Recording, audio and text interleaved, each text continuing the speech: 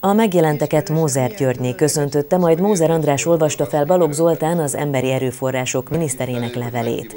Ezt követően az evangélikus templom falán nemrégiben elhelyezett dombormű kicsinyített mását adta át Zsuzsa néni plakett formájában Domonyi László polgármesternek, Kispálné Luca Ilona múzeumigazgatónak, Subka Évának a Kiskörösvárosért Alapítvány kuratóriumi elnökének, Turán Istvánnak, Szedmák Tamásnak és Bella Tibornak, a Kiskörös története című könyv szerzőinek, Valenci Pálnénak, a Népdalkör citerásának, valamint Dulai Györgynének és Csővári Jánosnak, a szlovák nemzetiségi önkormányzat tagjainak.